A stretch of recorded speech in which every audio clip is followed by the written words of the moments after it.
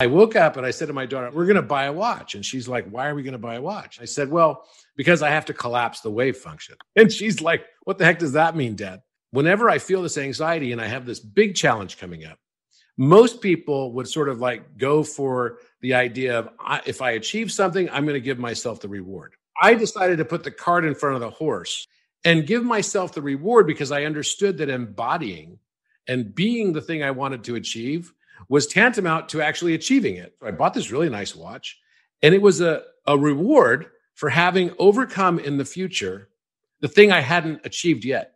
Damn. Every time I look at my watch, I'm going to remember the thing that I've already achieved as if it had already happened.